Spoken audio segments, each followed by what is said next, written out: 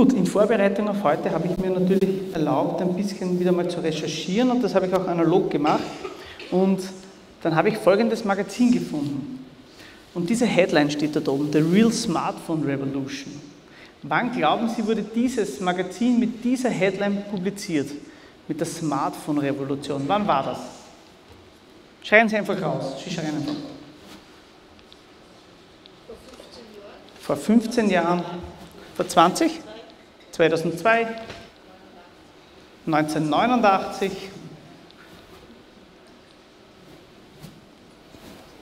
Es war 2010. Das erste Smartphone oder das richtige Smartphone, das iPhone, wurde im Jahr 2007 veröffentlicht. Und drei Jahre später hat man schon gemerkt, hoppala, dieses Ding macht etwas, das führt wahrscheinlich zu einer Revolution. Drei Jahre später. Und wir alle, Sie haben es gemerkt, Sie alle schätzen, dass das viel, viel länger schon her ist weil für uns das Leben gar nicht mehr vorstellbar ist ohne ein Smartphone. Wir glauben, so ein Smartphone ist immer da und immer dabei. Und wenn Sie in die Klasse schauen, ich weiß nicht, wie es in Oberösterreich ist, aber in Niederösterreich, in Wien und sonst wo, schaut es oft so aus. Die Kids sitzen dort, Lehrkräfte auch manchmal, und starren in das Ding. Das passiert aber nicht nur in der Schule, das passiert im Straßenverkehr oder beim Mittagessen. Man, mit, man isst zu Mittag und schaut in dieses Ding hinein. Tatsächlich ist das so. Das war nicht immer so. 1932 hat man noch so Mittag gegessen. 68. Stockwerk, Rockefeller Center. Stimmt natürlich nicht, das war eine Werbeaufnahme. Ja, aber würde man das Bild heute machen, würde man es vermutlich so machen. Also ich habe jetzt das Haus gebaut, nicht so smart, ja, aber doch. Und ich will damit nur sagen, es gibt jetzt eine ganz andere Beziehung zwischen Mensch und Maschine. Oder um das ein bisschen pathetischer, ministerieller zu sagen, die Digitalisierung umfasst alle Lebensbereiche. Vielleicht haben Sie es gelesen im Ministerratsvortrag zum Masterplan Digitalisierung, beginnt genau mit diesen Worten. Oder das Leben ist digital real, wie es der Joe Buchner und ich schon seit sieben Jahren nicht sagen. Was heißt digital real? Die Germanisten sagen immer, das kann nicht sein, das kann man so nicht ausdrücken, mag sein. Aber wir meinen damit, es gibt eine andere Verbindung von digital und realem Leben. Es gibt heute für die Kinder, für die Jugendlichen, die Sie unterrichten, kein Leben mehr ohne diesem digitalen Ding. Trotzdem versuchen wir das immer zu teilen. Analog, digital. Schwarz oder weiß, blau oder orange. Rapid oder Austria, wobei Rapid sowieso die bessere Mannschaft ist. Wir sollten aber vielmehr eigentlich das Ganze verbinden besser. Mischen, mixen. Das Digitale und das Analoge. Leider haben wir im Bildungskontext dann oftmals folgendes Szenario. Wir haben die einen, die sagen ganz, ganz toll, wir nutzen das. Und dann haben aber viele, auch durch Vorträge von Professoren mit den Herrn Spitzer, die sagen ganz, ganz schlecht. Und dann legt man das Ding weg, oft passt die Infrastruktur nicht und so weiter. Aber die Frage, die man sich eigentlich stellen sollte, ist die, wie kann man Bildung zu 100% digitalisieren? Wie kann ich alles im Bildungssetting digitalisieren? Wollen wir alles digitalisieren? Das ist die vollkommen falsche Frage. Die Frage, die wir eigentlich stellen müssen, ist die, was kann das Digitale machen? Weil neu, und das ist eine Antithese zu Barnes Dienster von How I neu ist nicht immer und überall besser. Ich habe hier ein Beispiel mitgebracht. Wer von Ihnen war schon mal in Argentinien? Super. Andreas, was teilt denn Argentinien von Chile? Die Grenze. Ja, also kein Geografielehrer, merkt man gleich. Die Anden. Ja, die Anden, ja, auf, ja, sowas wie die Alpen höher. Ja, die Anden. Und wenn ich jetzt von einer Seite auf die andere Seite möchte, da gibt es nicht immer Top-Wege, nicht top ausgebaute Straßen. In diesem Kontext brauche ich einen Esel, einen Muli. Wenn ich jetzt aber die besten Weine Österreichs, von Weingut Pointen aus Schrattental, Weingut Beutner Schrattental, das ist mein Onkel, hierher bringen möchte in großen Mengen, dann brauche ich den MAN-Truck. Und genauso verhält sich es eigentlich mit digitalen und analogen Medien. Es gibt Situationen, da sind diese digitalen Medien besser. Zum Beispiel, wenn ich, nehmen wir jetzt das äh, Szenario im Haus wenn ich messen möchte, wo habe ich meine Stromfresser. Es gibt aber auch wieder Situationen, da sind die analogen Medien viel, viel besser. Vielleicht im persönlichen Gespräch. Und genauso ähnlich soll es mit digitalen und analogen Medien sein. Das heißt, die Frage, die man sich stellen muss, wenn man damit sich auseinandersetzt, gerade im pädagogischen Kontext ist, was stört mich an klassischen Bildungssettings, was stört mich an der aktuellen Praxis und wo bringt denn diese Digitalisierung, von der alle reden, von der alle sprechen, tatsächlich Vorteile für eine zeitgemäße Lernkultur, wo das Lernen im Zentrum steht und nicht das Lehren und das heißt das Verfrieren, Einfrieren von tradierten Bildern. Denn eines ist klar, ob wir das wollen oder nicht, ob wir dafür sind oder dagegen. Bildungsprozesse ändern sich gerade radikal. Das hängt auch mit der Digitalisierung zusammen. Das heißt, diese Digitalisierung umfasst mittlerweile alle Lebensbereiche, auch die Bildung. Und jetzt haben wir die eine Frage, aber das Wie.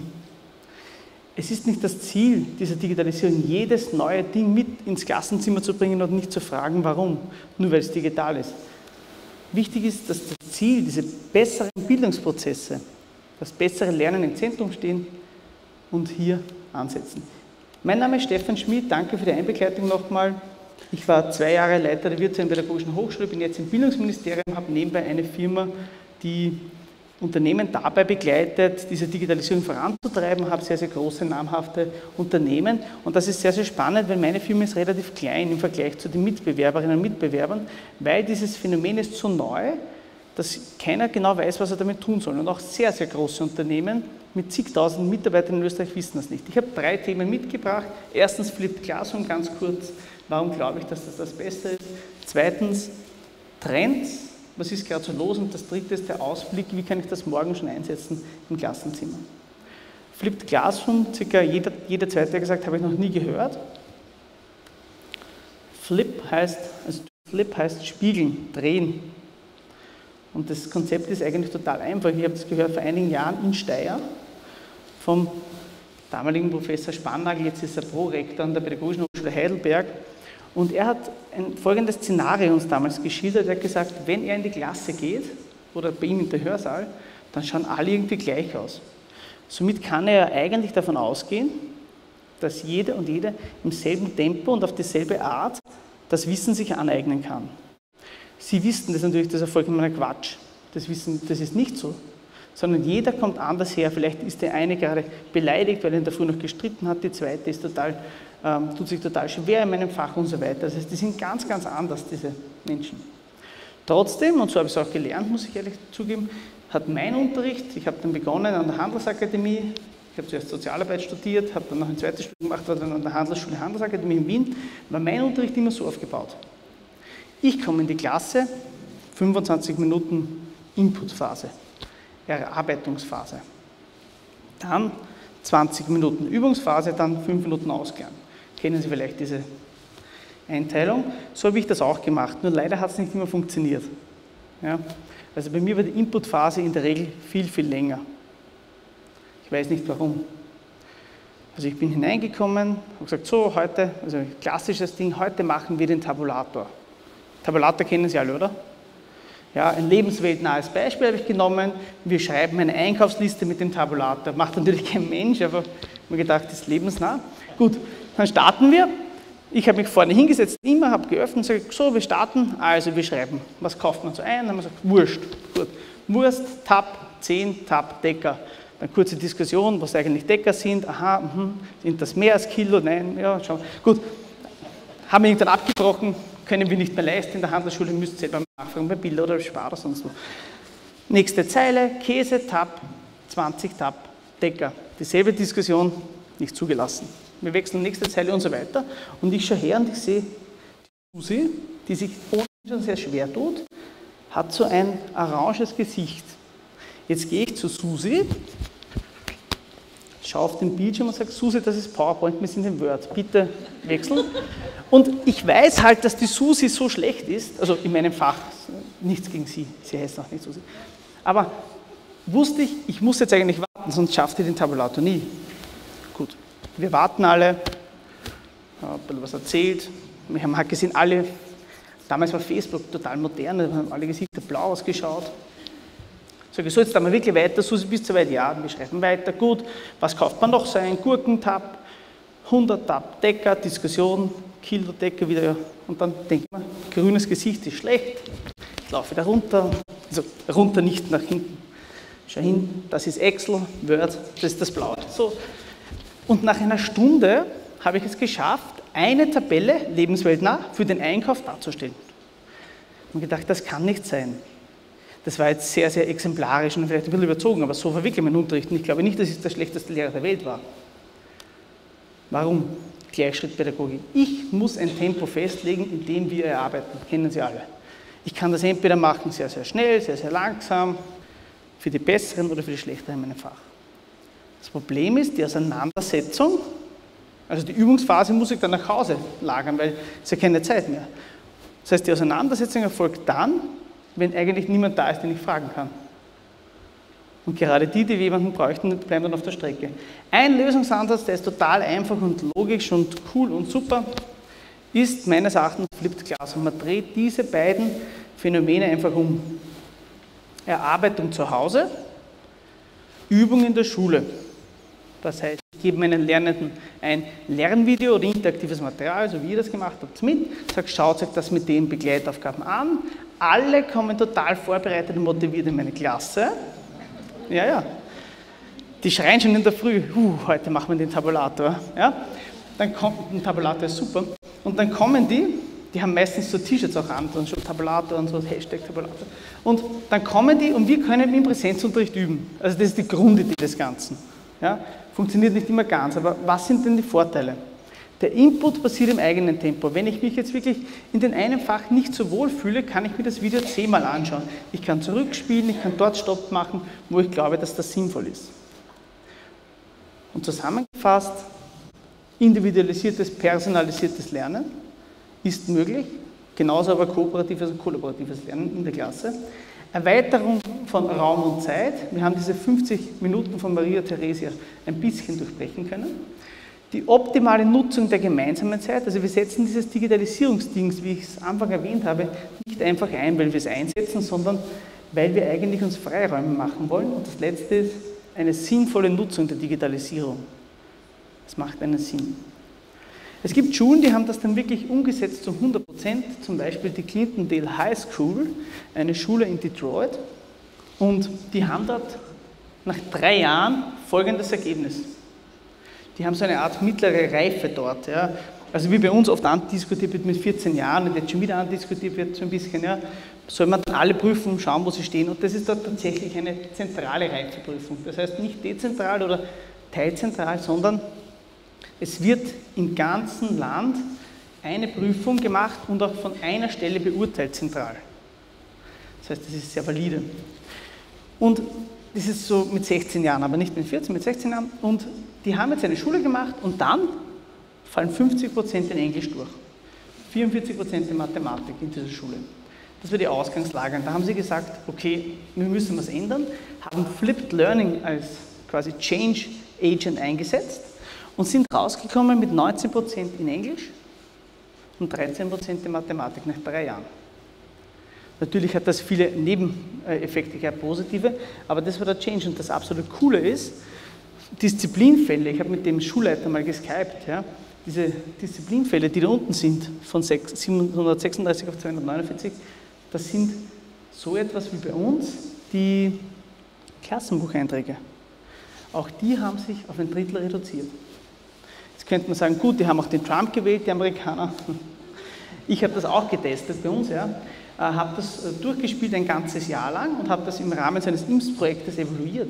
Und da ist rausgekommen, auf der einen Seite, dass ähm, die Kompetenzen sich gesteigert haben der Schülerinnen und Schüler. Jetzt könnte man sagen, gut, vielleicht passt die Kohorte nicht ganz zusammen und waren die heuer generell besser, kommen aus, eher aus Schulen mit IT-Schwerpunkt. Aber was man auf jeden Fall sagen kann, und das habe ich befragt, über 90 Prozent, das waren 91,2, waren 90 schon cool aus auf der Folie, haben gesagt, sie wollen wieder nach diesem Konzept unterrichtet werden. Diese 8 Prozent, die gesagt haben, eher nicht, glauben Sie, waren das die besseren oder die schlechteren in meinem Fach?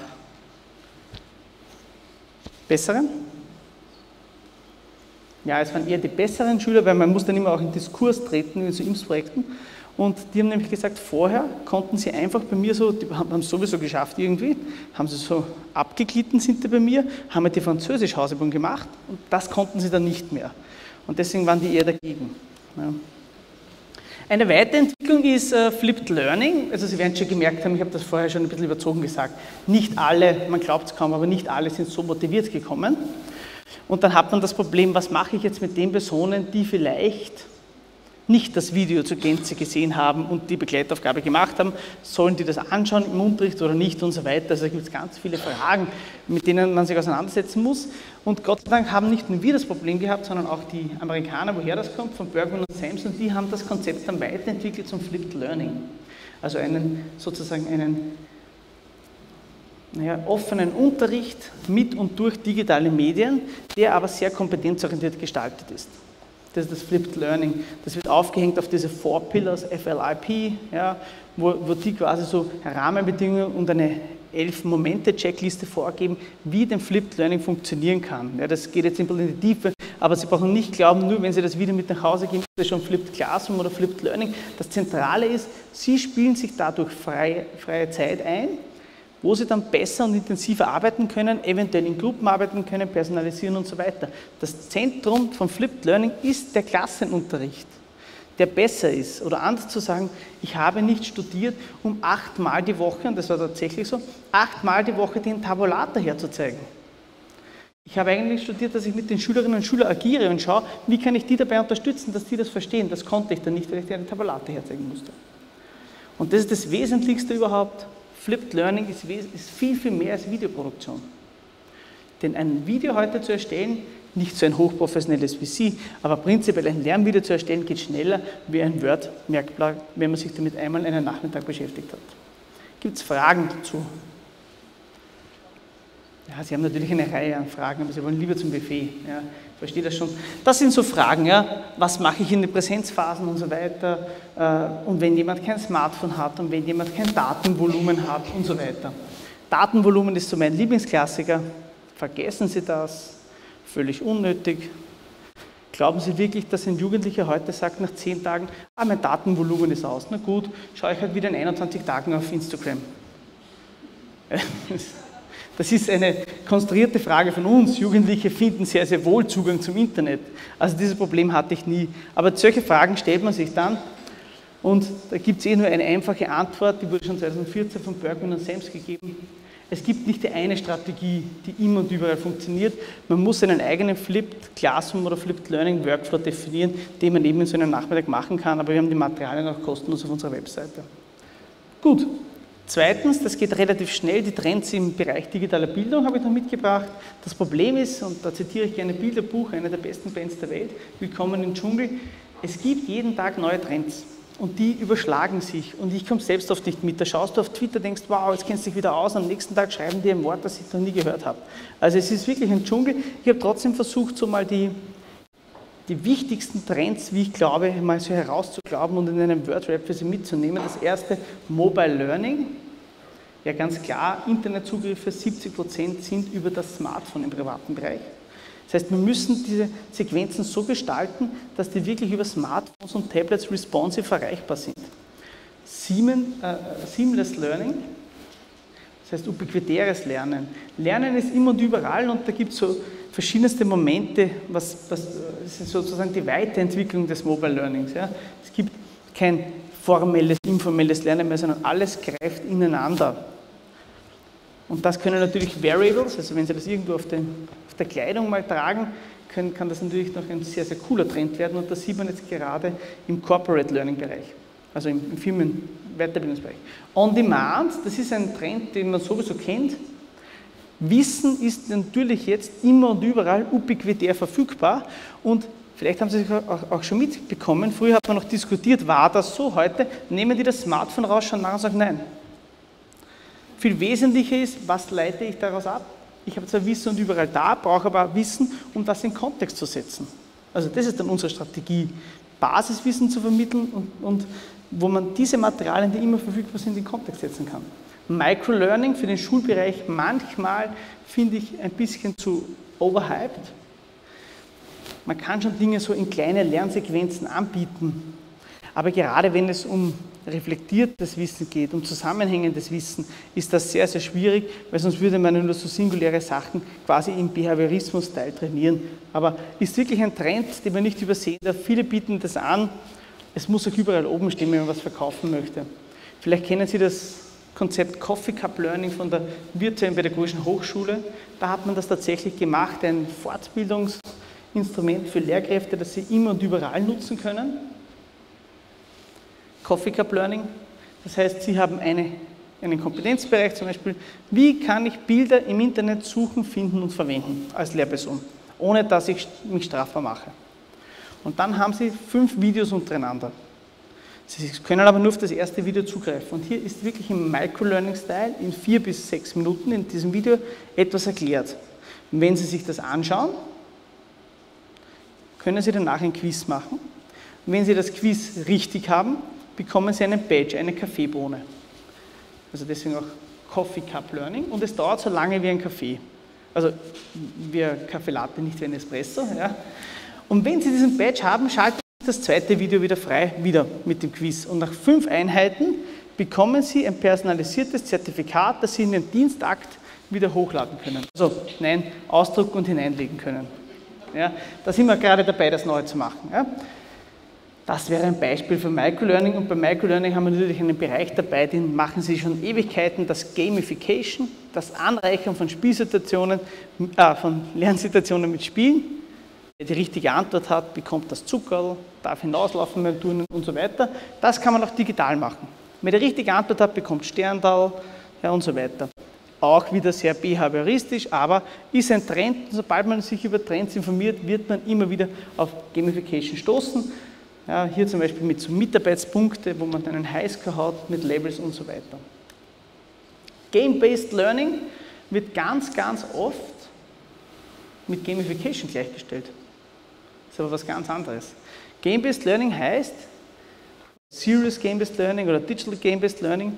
Schülerinnen und Schüler, Lernende spielen ein virtuelles Spiel. Aber es geht jetzt nicht ums Lernen per se, sondern es geht ums Spielen.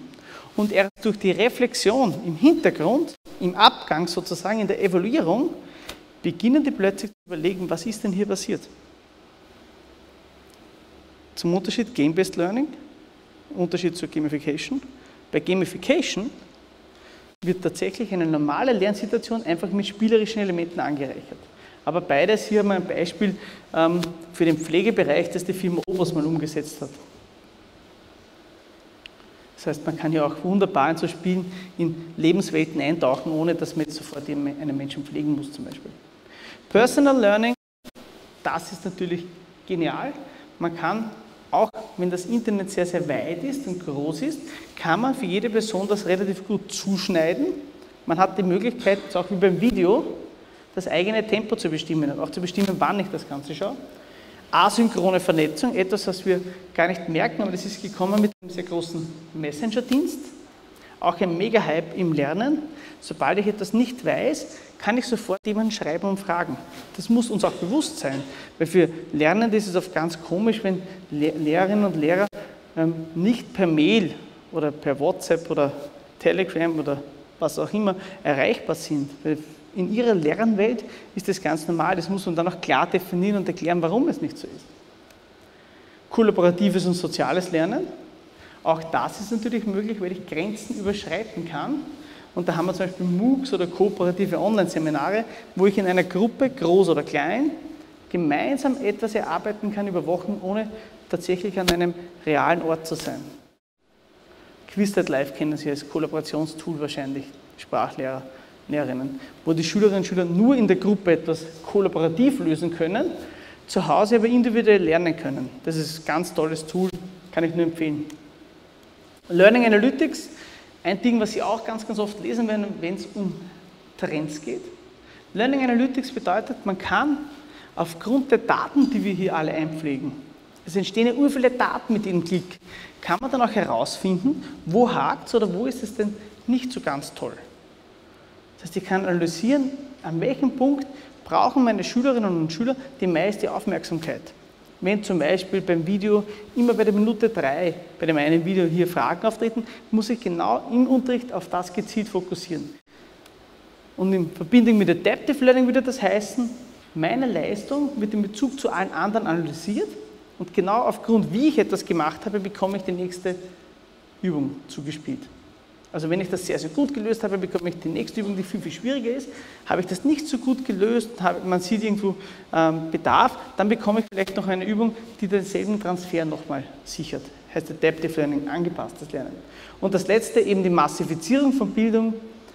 Wir haben dadurch die Möglichkeit, auf der einen Seite Kurse ewig und in urgroßen Mengen anzubieten, die sogenannten MOOCs, die Massive Open Online Courses, wo wir auch schon einige für die Lehrerinnen Fort- und Weiterbildung anbieten. Und das Coole ist, diese Kurse werden nicht nur angeboten von irgendwelchen Freelancern, sondern wirklich von ganz, ganz renommierten Universitäten wie Princeton und Harvard und so weiter. Die geben ihre Vorlesungen, die zeichnen diese aus und stellen die wirklich online. Man kann sie kostenlos besuchen. Massive Open Online Courses. Das zweite bei der Massifizierung ist, bislang war es so, Unterrichtsmaterialien konnte ich zwar erstellen, ich konnte es auch jemand anderen geben, aber wir haben jetzt zwei Dinge geklärt mit dem Internet. Erstens, wenn ich das ordentlich lizenziere, darf es der andere auch verwenden und weitergeben, straffrei. Und das Zweite, was wir haben, wir brauchen nicht immer wohin gehen, um das jemandem zu geben, sondern wir können es tatsächlich im Internet publizieren, die sogenannten Open Educational Resources. Ein Megatrend, wie die UNESCO meint, seit fünf Jahren und der hebt gerade voll ab. MECO-MOOCs, ein kleines Beispiel aus Österreich, Medienkompetenz-MOOC. Das ist wirklich ein MOOC, der wurde an der TU Graz, Uni Graz in Kooperation mit pädagogischen Hochschulen entwickelt der ist rein online. Da können so viele Lehrkräfte teilnehmen, wie sie wollen. Und wenn Sie das machen, der dauert acht Wochen, jede Woche kommen drei, vier Videos und am Ende und Literatur und am Ende immer Quizzes. Sie können da auch kooperativ äh, in Kontakt treten. Wenn Sie das fertig haben, bekommen Sie über PH Online ein richtiges Fortbildungszertifikat. So ein kleines Beispiel. Kann ich Ihnen empfehlen, iMOOCs.at heißt die Plattform. Zwei Trends noch. Das eine ist Virtual Reality, etwas, was sehr gehypt wird, was erst kommen wird so richtig für den Unterrichtseinsatz, aber damit kann man vor allem diese immersiven Lernerlebnisse fördern. Da wirklich das Eintauchen, wenn ich gerade bei Technik oder Biologie wird das spannendes äh, äh, Thema werden, glaube ich, wo man wirklich eintaucht in Situationen, aber auch in berufsbildenden Bereichen. Also ich kenne eine Firma, die hat das gemacht für, dürfte ich dabei äh, äh beurteilen, so einer Kommission, für, für Dachdecker, die Lehrlinge, die haben immer so ein hohes Risiko, dass denen etwas passiert. Und jetzt haben sie diese Gefahrensituationen zunächst mal vor einigen Jahren immer als Videos dargestellt.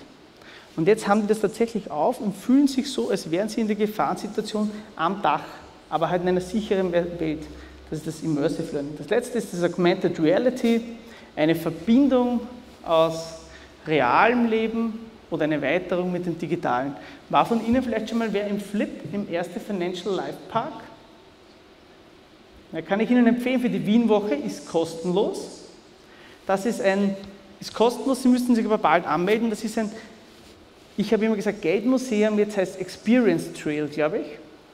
Dort lernt man Finanzkompetenzen, die ähnlich wichtig sind wie auch diese Energie- und Digitalisierungskompetenzen. Dort lerne ich als Schüler, als Schülerin Finanzkompetenzen in der Gruppe.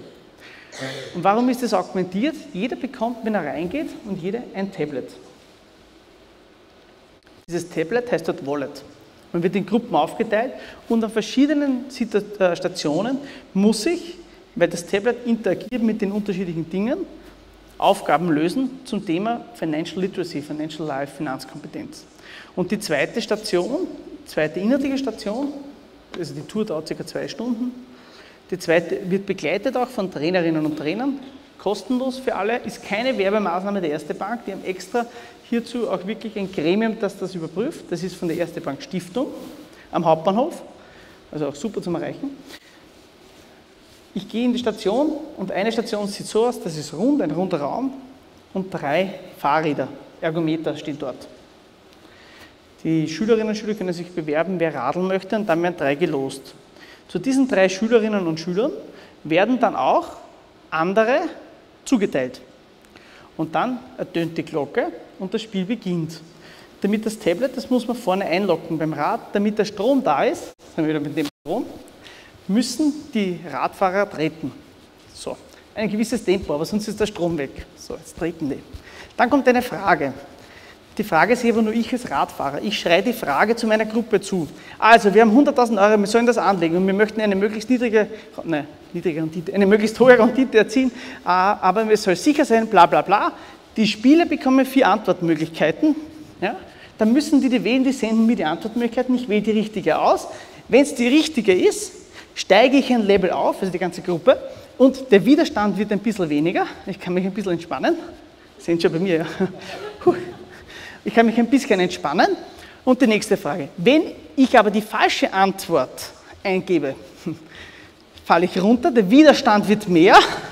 Wenn ich das nicht aushalte, nicht mehr schaffe, dann geht der Strom aus und dann schreien mich die anderen wieder an. Also das heißt, man wird spielerisch hier in der Gruppe und das ist eine von fünf Stationen, da gibt es noch Getting Global und so weiter. Also wo man nicht so extrem körperlich arbeiten muss, aber wo man auch interagiert, das ist Augmented Reality. Kann ich Ihnen empfehlen, auf der Webseite Sie können, glaube ich, ab 1.11. wieder fürs nächste Jahr buchen. Machen Sie das sofort, wenn Sie Interesse haben. Das ist immer ausgebucht in zwei Wochen. Was leite ich jetzt ab aus diesen Trends? Erstens, Wissen ist immer und überall verfügbar. Wir haben eine Demokratisierung dessen. Zweitens, es sind Formate, die können Sie wir noch gar nicht vorstellen. Vor zehn Jahren, also es gibt das 13 Jahre ein Smartphone, vor zehn Jahren war Flipped Classroom ein Hirngespinst von wenigen. Ich weiß noch, wie ich das eingeführt habe, haben manche gesagt, du schaffst den Beruf der Lehrperson ab. Und das Dritte ist, und das ist eine wesentliche Herausforderung für das Schulsystem und für das Bildungssystem überhaupt, es kommen ganz neue Anbieter am Markt, die alle alles besser wissen. Die schauen halt nicht auf die Datenschutzgrundverordnung, die schauen halt nicht auf das System Schule, aber die zeigen an, und das ist für Schulen eine mega Herausforderung, weil sie müssen sich jetzt auch in diesem Netz des Digitalen einmal zurechtfinden, weil da kommt jeden Tag ein neuer Anbieter, der die perfekte Lösung für Österreich hat. Abschließend der Ausblick, was heißt das Ganze? Was braucht es jetzt? Erstens, es braucht jemanden, der vorne steht, mit Innovationskraft und einen gewissen Kompass. Das bedeutet auch, ich muss wissen, wohin die Reise in etwa geht. Genau weiß es keiner von uns, aber ich muss mich mit dem Thema, ob ich dafür bin oder dagegen, schwarz oder weiß, Rapid oder Austria, wobei, wir wissen Rapid besser, muss ich einfach dem nachgehen. Sonst überholt uns das Ganze, weil alle Lebensbereiche werden davon betroffen. Zweitens, wir brauchen Infrastruktur und Workflow. Wir brauchen das technisch, wir brauchen das aber auch in unserem Mind. Also wenn wir nur analog leben und arbeiten und glauben, wir tun das Analoge, wie es jetzt ist, einfach eins zu eins umsetzen ins Digitale, werden wir keinen Mehrwert haben. Dann wird es auch nicht funktionieren. Das dritte ist, wir brauchen Content, der vielleicht interaktiv ist, der leicht zugänglich ist. Und wir brauchen auch die Fähigkeit und das Wissen, wie man Content produzieren kann. Also Contentproduktion wird ein ganz, ganz zentrales Thema werden. Und das vierte, ich glaube, dass jede Lehrperson und das sehen wir jetzt auch in ganz, ganz vielen Initiativen, so eine Art Edutech-Know-how brauchen muss. Man braucht eine Basisausbildung, um diese Dinge zu verstehen und zu bedienen. Aber auch der erste Bereich ist ganz wichtig, das Verstehen. Wenn ich selbst nicht verstehe, was es bedeutet, eine Nachricht via Messenger-Dienst zu senden im Vergleich zu SMS, werde ich wahrscheinlich niemals einen Workflow an einer Schule definieren können, der der Datenschutz, den datenschutzrechtlichen Aspekten genügt. Das heißt, wir brauchen da irrsinnig viel an Fort- und Weiterbildung, weil das eben so allumfassend ist.